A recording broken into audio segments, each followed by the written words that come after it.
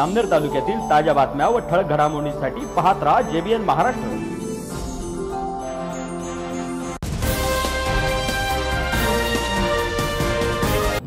नमस्कार मी मिनल चौधरी. पाहूया काही ठळक वृत्त.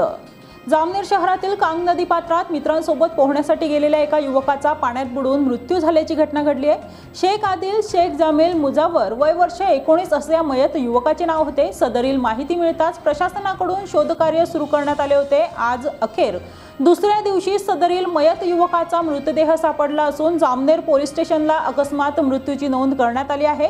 जामनेर पोलीस स्टेशनचे पोलीस निरीक्षक किरण शिंदे यांच्या मार्गदर्शनाखाली police head constable Raju Sonawane हे पुढील तपास करत आहेत.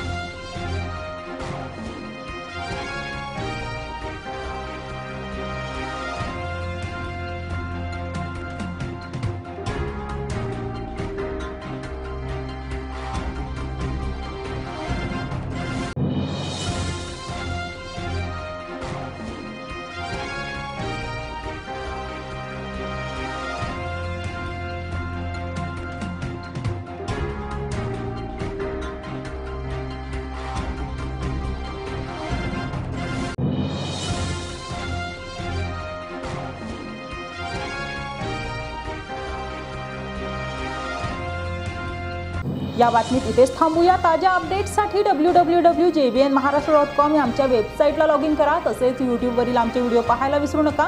आणि Google play स्टोअरवरील J B N news app download करून J B N Maharashtra news channel live पहा. नमस्कार.